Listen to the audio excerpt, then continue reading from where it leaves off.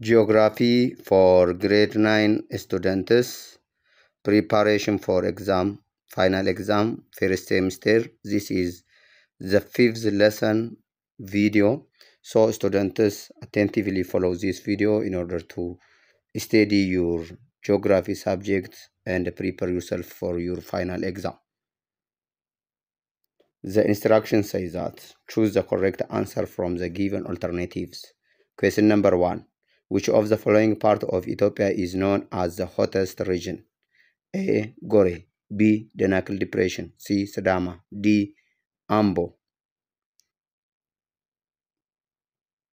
Okay, so the hottest areas of Ethiopia with lowest altitude less than 500 meter above mean sea level is Danakil Depression. Danakil Depression is the warmest and the hottest, which is classified into Baraha or desert agroecological zone. Question number two. Which of the following is not Ethiopian characteristics owing to her tropical location? A. Relatively high annual ranges of temperature. B. High temperatures during most of the year. C. High daily ranges of temperature. D. Relatively small annual ranges of temperature. Okay, so A says that relatively high annual rainfall ranges of temperature sorry. B high temperature during most of the year. C high daily ranges of temperature. D relatively small annual ranges of temperature it says. Basically the daily or diurnal ranges of temperature which means the difference between the daily maximum and the daily minimum of temperature. Whereas the high annual ranges of temperature which means the difference between the hottest and the coldest. So from this the following from these four following distractors the one that is not characterizes the ethiopian climate condition is a relatively high size but it is relatively small ranges Question number three. Question number three says that the degree measurement of hotness or coldness of an object is A. Latitude B. Climate C. Weather D. Temperature. Temperature is the hotness or the coldness of an object. So the answer is D. Good. Let's see question number four.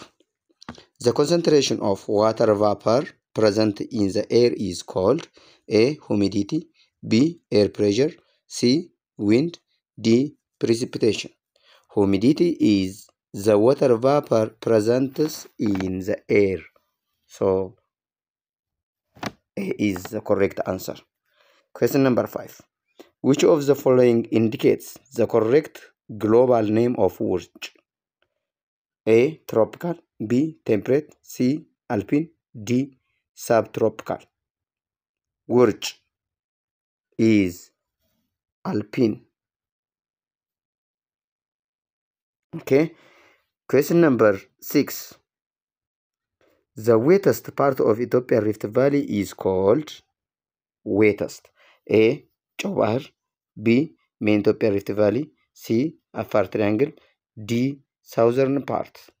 Main Ethiopia Rift Valley is the wettest part of Ethiopia Rift Valley, which is known with having high density of population as well as high density of vegetations.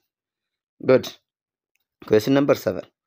Of the following, which one is not the control factor of weather and the climate? A. Temperature. B. Altitude. C. Mountain barriers. D. Ocean currents. Temperature is not the control factor, rather it is the element of weather and climate. Question number 8 of the following, which agroecological zone is characterized by high concentration of population in Ethiopia? There are five agroecological zones in Ethiopia. From this, which agroecological zone is more concentrated by population densities? A. Kolla B. Daga C. Wenadaga D. Baraha. Daga is the highly concentrated part of Ethiopia.